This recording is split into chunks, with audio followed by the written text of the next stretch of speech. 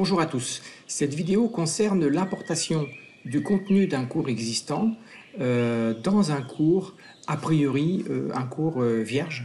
je prends l'exemple ici d'une nouvelle structure pour le bachelor qui est donc découpée en semestre et en ressources et en SAE. Et ici, eh on a un cours qui s'appelle ZDemo. Je vais cliquer dessus. Hein. C'est un cours de démonstration. effectivement, il est vide et on voudrait importer des éléments d'un cours existant de façon à, pas, à, avoir tout à refaire, pardon, de façon de ne pas devoir tout refaire. Et donc pour ce faire, euh, je vais vous montrer le cours euh, concerné. Euh, il s'appelle ici donc le, référent Madoc en fait n'a pas effacé les cours existants d'avant, ceux qui concernent le DUT. Et donc ici il y a un cours qui s'appelle Math. encore une fois, c'est un cours de démonstration puisque on va, supposer que c'est un ancien cours, et donc on voudrait importer ce cours maths dans euh, le cours vide que je vous ai montré euh, tout à l'heure. Donc je reviens ici en arrière. Euh, pour ce faire, je vais cliquer, je vais ouvrir, donc je vais me rendre dans le cours ici qui s'appelle ZDemo, donc le cours de démonstration qui est vide, hein, je répète, et je vais cliquer sur importation.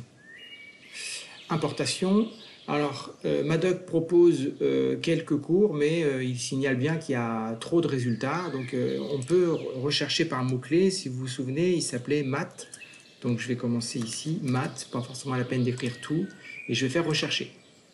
Ben, il en trouve un, c'est le fameux cours maths mathématiques. Je vais cliquer dessus et je vais cliquer sur continuer. Alors, vous avez plusieurs, vous avez plusieurs pages qui s'affichent Réglages initiaux, réglage du schéma, confirmation et relecture, effectuer l'importation et terminé. Vous pouvez directement passer à la dernière étape, mais c'est dommage parce que vous voyez, vous ne pouvez pas choisir tout ce qu'il peut faire ou ne pas faire. Alors on peut inclure les activités, les ressources, les blocs, les fichiers, euh, ou ne pas les inclure. Hein. Ici, si je décoche les fichiers, je ne vais pas importer les fichiers. Je clique sur euh, suivant, pardon, suivant, suivant, suivant. Donc là, je peux sélectionner ou pas les différentes euh, sections. On peut très, bien ne pas importer certaines sections. Là, il y a, euh, j'ai des sections pour les enseignants qui peuvent euh, avoir des dépôts ou bien déposer des ressources pour les étudiants. suivant. Ça, on est sur la confirmation et relecture. Donc, vous relisez vraiment pour être sûr que tout ce que vous vouliez importer est bien conforme à ce, que, vous vouliez. Sinon, vous pouvez faire étape précédente pour revenir en arrière. Et si vous êtes vraiment d'accord, eh vous cliquez sur effectuer l'importation.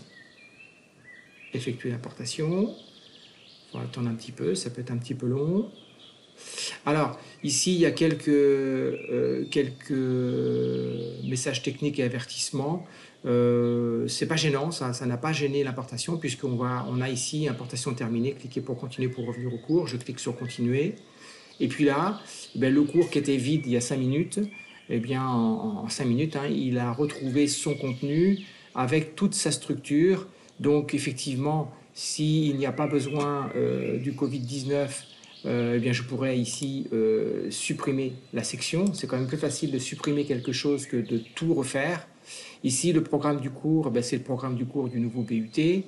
Les cours d'amphi en vidéo, peut-être que oui, peut-être que non, mais vous pourrez à ce moment-là les, euh, les effacer ou bien, dans un premier temps, cacher la section.